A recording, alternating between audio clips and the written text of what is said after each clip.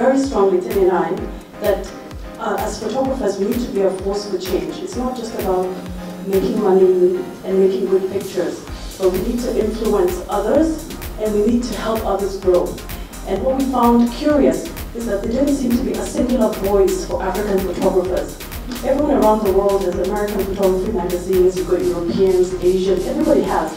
But there didn't seem to be a singular African photography magazine on contemporary photographers. It's um, a platform for teaching. This magazine, magazine is purely digital. So it does have a portal through YouTube where we disseminate uh, educational lessons, tips for photographers, and also how to start and run a professional photography business.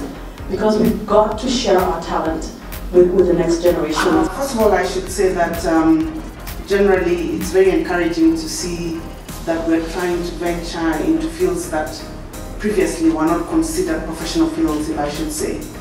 I think in my days, if um, you went to school and then you were asked by your parents uh, you want to study and you said you want to take pictures, I can imagine what my mother would say. What has the government have to do with the magazine launch? We know very well that this is an incubation hub for young people who are entrepreneurs. And as a government, we encourage um, the youth and women in this country to get involved in entrepreneurial activities so that they can be supported with regard to business. So that's why we're here.